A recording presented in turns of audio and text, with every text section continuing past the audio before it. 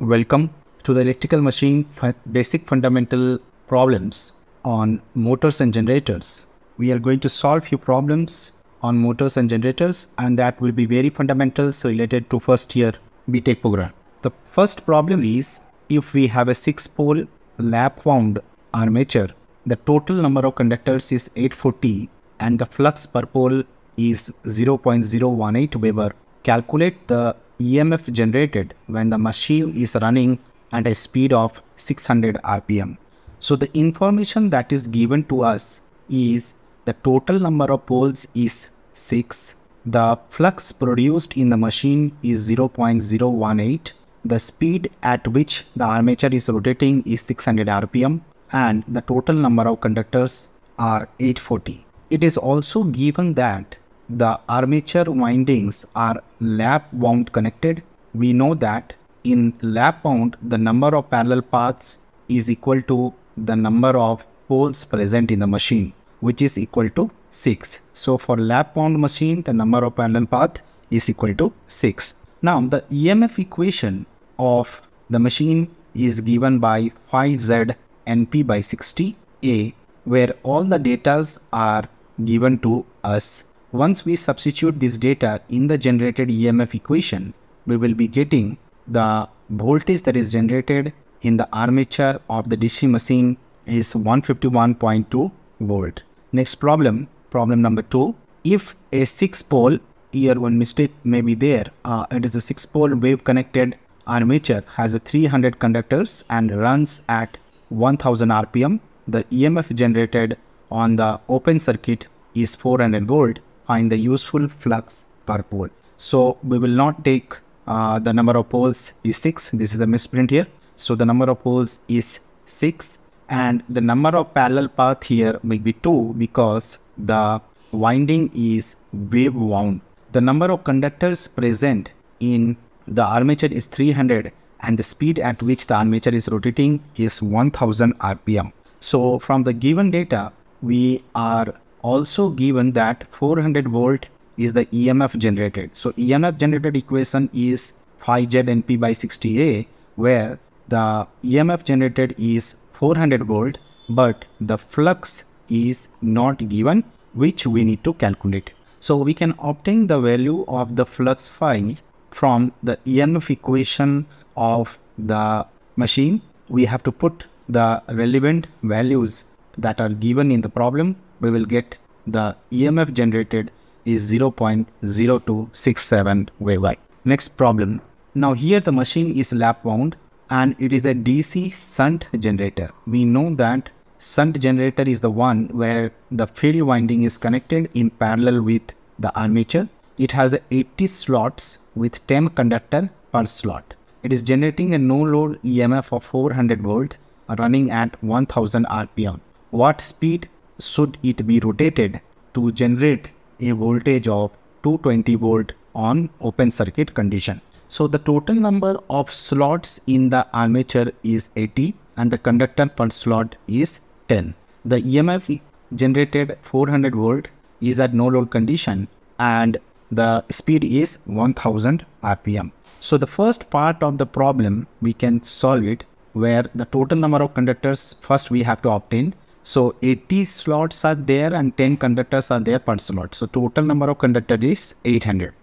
We know the generated EMF equation and here the machine is basically lap wound. So the number of parallel path is equal to P. So we can compute the flux because the EMF generated is already given to us is 400 volt. So the flux is coming to be 0.03 Weber. The next part of the question where the generated EMF is said to be 220 volt and the flux of the machine remains the same which we have computed from the first part. If we put it in the value of the generated EMF equation, the unknown that we need to determine is what is the speed at which the machine is running. On solving, we will get the speed to be 550 RPM. Next problem, a 4-pole DC shunt generator with lap connected armature supplies a load of 100 ampere. So this is at the output terminal we are getting 100 ampere at 200 volt. The armature resistance is given to us is 0.1 ohms and the shunt field resistance is 80 ohm. You have to determine the total armature current, the current per armature path, the EMF generated, assuming that there is a voltage brush drop of 2 volt at the two brushes of the armature. So first we will note down what are the given data to us. Number of poles is given, the voltage is given, the resistance of the field, resistance of the armature and the load current is given to us. Note here the 200 volt whatever is given this is the terminal voltage and not the generated voltage because the generated voltage will be at the armature. So you will be having the generated voltage at the armature of the machine and at the load terminal you will be having the terminal voltage. So the information of the terminal voltage is given 200 volt at 100 ampere. So 100 ampere being the load current. Now here since the machine is basically DC shunt machine which is a generator we will be having the field winding which is connected in parallel to the armature. So this is what we have the armature as a generator and two brushes are there and we will be having the load which is connected at the terminal. So this is our load.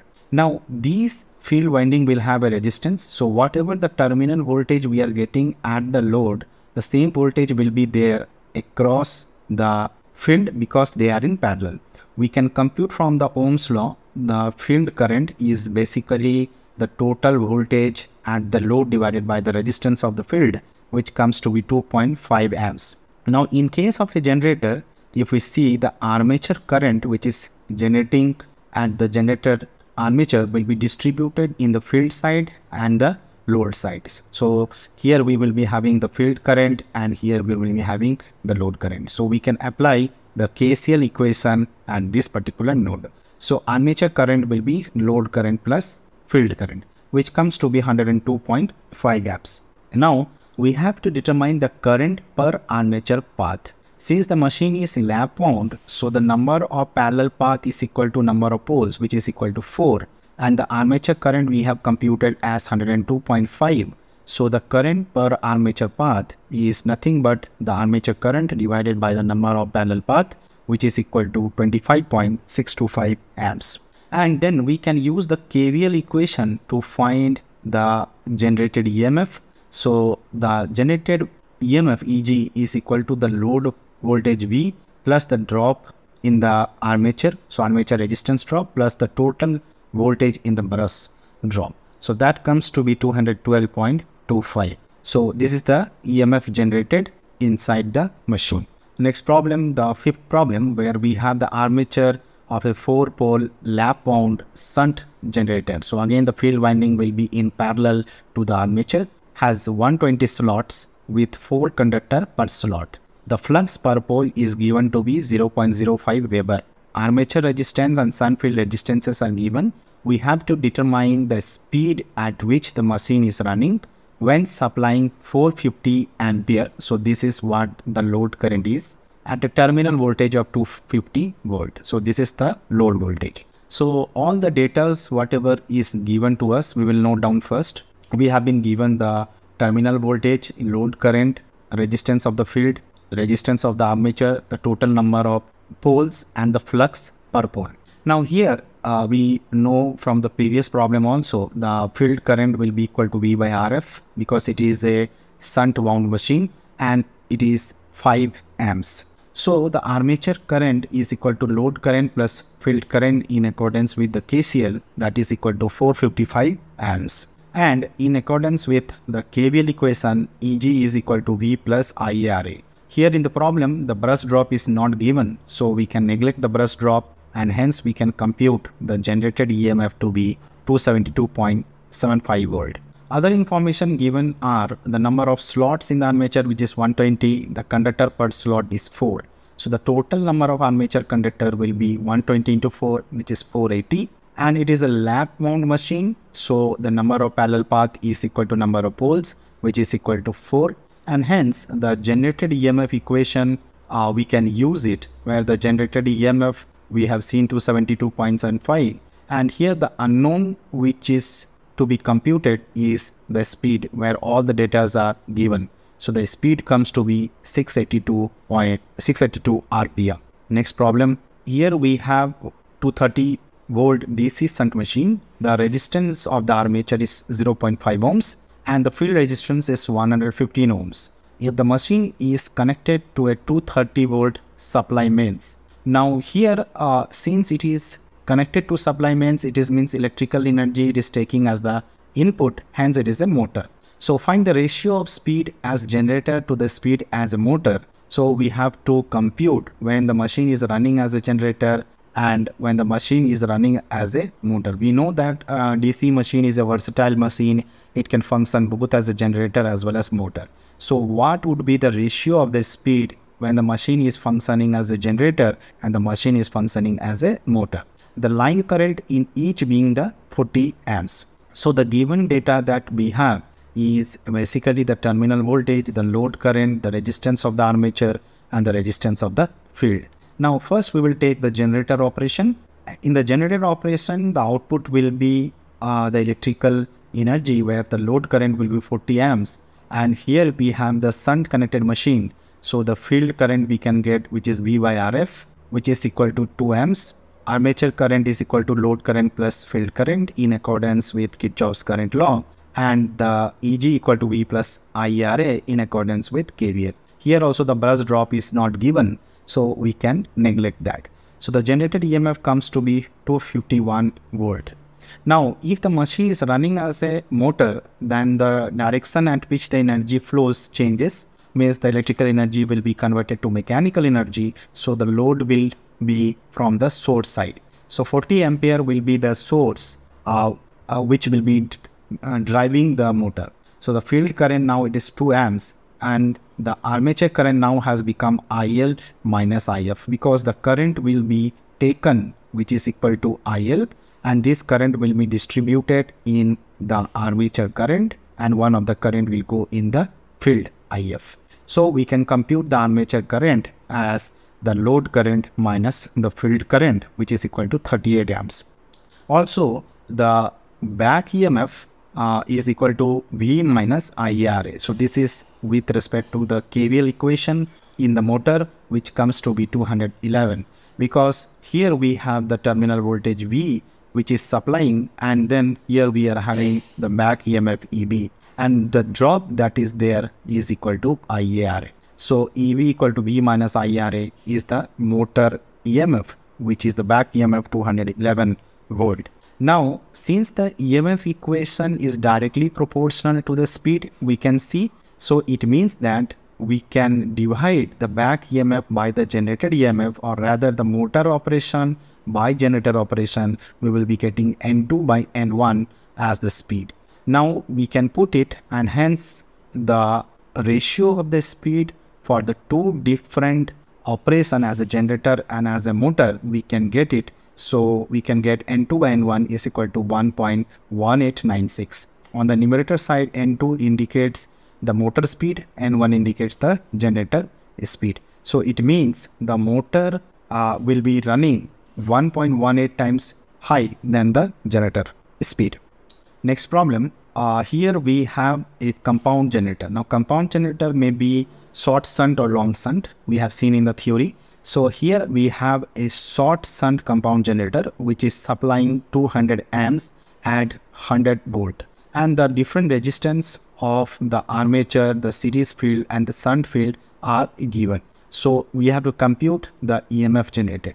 It should be noted that in the short shunt machine, if we see then the field winding of the resistance of the series field winding will be outside and then we will be having the generator and parallel to the generator we will be having the resistance of the shunt field winding.